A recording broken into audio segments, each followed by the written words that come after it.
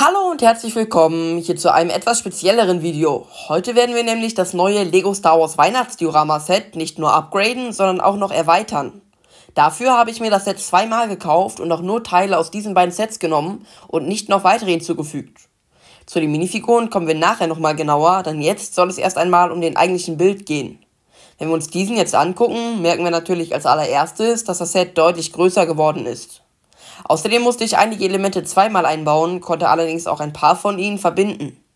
Gucken wir uns das Ganze mal ohne Minifiguren an, sehen wir, dass der rechte Teil einigermaßen gleich geblieben ist.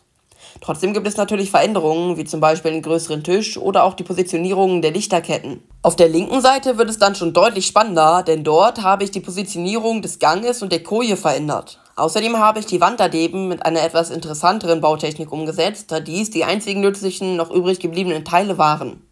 Davor finden wir dann den Weihnachtsbaum, welcher dort meiner Meinung nach relativ gut reinpasst. Diesen habe ich aus den beiden im Set enthaltenen Bäumen gebaut und der gefällt mir auch relativ gut. Dahinter sehen wir an der Wand dann noch zwei weitere Kristalle, abgesehen von denen oben an der Spitze vom Weihnachtsbaum, und einen kleinen Tisch, auf welchem eine Karotte liegt. In der Mitte sehen wir dann einen relativ großen Tisch, ebenfalls mit einer Karotte und natürlich mit der großen Weihnachtsgans.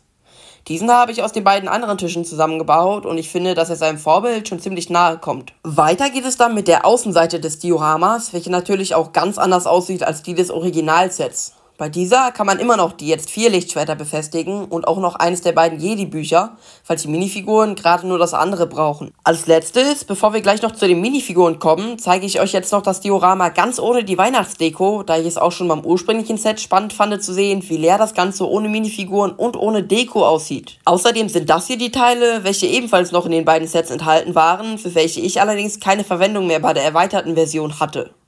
Kommen wir jetzt aber zum letzten und fast schon wichtigsten Teil, und zwar den Minifiguren.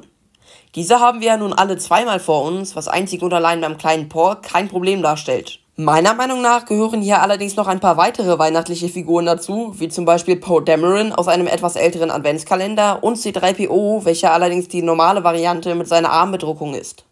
Außerdem bekommt Chewie natürlich noch seine eigene Weihnachtspute, damit die anderen auch noch etwas zu essen abbekommen. Dazu könnte man jetzt natürlich noch jede Menge weiterer Figuren hinzufügen, welche wir auch alle genau in der Szene sehen. Allerdings beschränke ich mich hierbei nur auf ein paar, da das Ganze sonst den Rahmen eines dann doch so kleinen Sets sprengen würde.